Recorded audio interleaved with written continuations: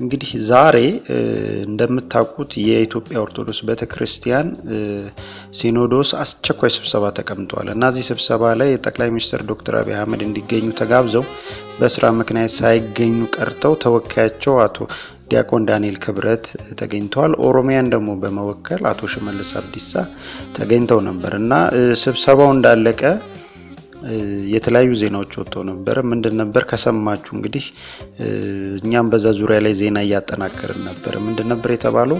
አቶ ሽመልስ አብዲሳ የኦሮሚያ ቤተ ክህነት በፍጹም ኦሮሚያ ላይ አይቋቋምም ብለዋል ተብሎ እንደ ዜና ወጥቶ ነበር። እንደውም መጀመሪያ የዘገበው እኔ ያየሁት ዘመድኩን በቀለ የሚባል አንድ የኢትዮጵያ ኦርቶዶክስ ቤተክርስቲያን እምነት ተከታይ የሆነ ታዋቂ ፌስቡከኛ ነው።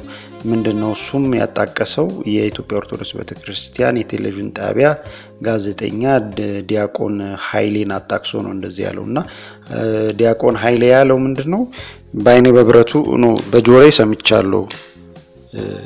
ምንድን ያለው እሱ? በጆሮዬ ሰምቻለሁ እንደዚህ ሲሉ አቶ ሽመልስ አብዲሳ ብሎ እንደ መረጃ አውጥቶ ነበር። ያንን ዜና እያጠናከርን እያለን አሁን ከ37 ደቂቃ በፊት የኦሮሚያ ሚዲያ ኔትወርክ ደግሞ አንድ ዜና ይዞ ወጥቷል። እንዲህ ያለ ወትሮ በአማርኛ ጽፏል። እሱን ላንብብላችሁ። የኦሮሚያ ክልል ምክትል ፕሬዚዳንት አቶ ሽመልስ አብዲሳ የኦሮሚያ ኦርቶዶክስ ቤተ ክህነት እንዲቋቋም አንፈቅድም ብሏል መባሉን አስተባበሉ። አቶ ሽመልስ አብዲሳ ጉዳዩን አስመልክተው ለ OMN በሰጡት አስተያየት የኦሮሚያ ኦርቶዶክስ ቤተ ክህነት እንዲቋቋም አንፈቅድም ብሏል ተብሎ በማህበራዊ ሚዲያ የተሰራጨው መሰረተ ቢስ ወሬ ነው ብለዋል። አቶ ሽመልስ ሁለቱ ወገኖች ልዩነታቸውን በውይይት እንዲፈቱ ነው የተናገርኩት ነው ያሉት። ለማንኛውም አሁን በአንድ ሰዓት ውስጥ በአንድ ሰዓት ውስጥ እዚህ ጋር ዲያቆን ኃይሉ ጋዜጠኛ ዲያቆን ኃይሉ ያለው ተቃወሙ ነው። ኦኤምኤን ደግሞ አላልኩም ብሎ ይዞ ወጥቷል ማለት ነው። ፕሬዚዳንቱ እንግዲህ በአንድ ሰዓት ውስጥ ነው ሁለት ቃል የተናገሩት።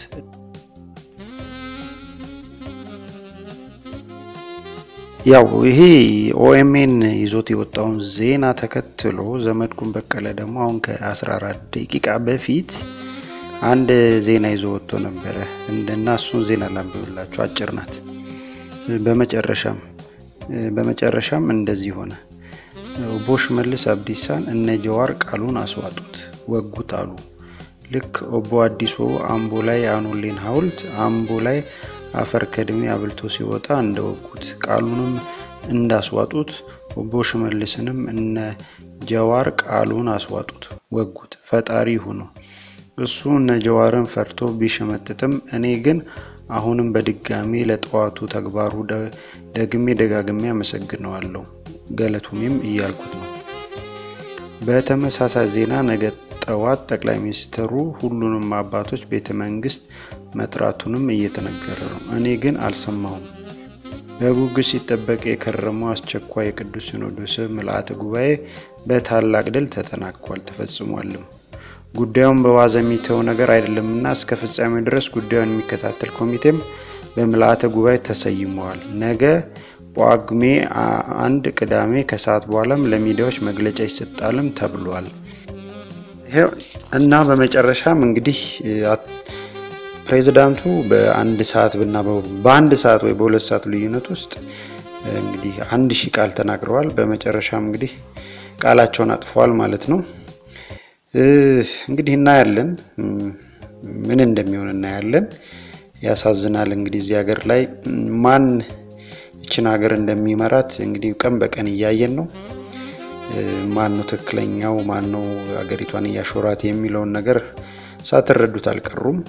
እንግዲህ በመጨረሻ ሽመልስ አብዲሳም ቃላቸውን አጥፈዋል ማለት ነው። እየተከታተልን ዜናውን እናቀርብላችኋለን። በጣም ያበሳጫል። እንደዚህ አቅመ ቢስ የሆነ መንግስት እዚች ሀገር ላይ መፈጠሩ በራሱ ማለት ነው። ፈላጭ ቆራጩ ከጀርባ ያለው ሆኖ ብቻ ያናድዳል። በአጠቃላይ አዲስ አውቶች ነን። አዲስ ነገር ካለ ይዘን እንመጣለን። መልካም ምሽት ይሁንላችሁ በያላችሁበት። share፣ subscribe፣ like አድርጉን። ኢትዮጵያ ለዘላለም ትኑር። እናመሰግናለን። ቻው